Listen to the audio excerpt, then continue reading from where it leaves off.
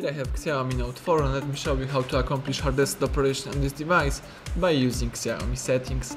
At the very beginning hold down power key to switch on your phone, then unlock the screen, find and select settings, scroll down to additional settings right here, scroll down one more time and choose backup and reset. Then select factory data reset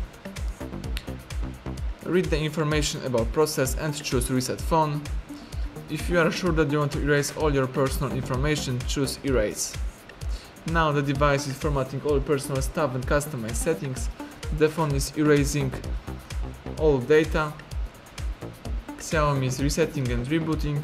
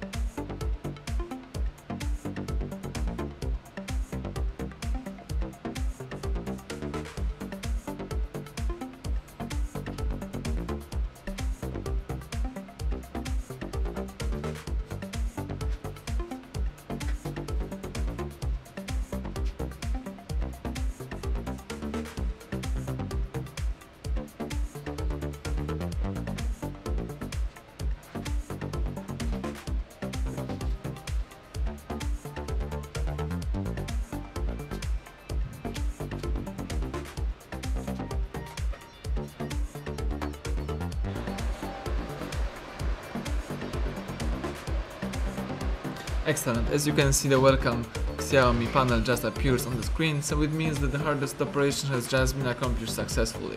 Thank you for watching, please subscribe our channel and leave thumbs up under the video.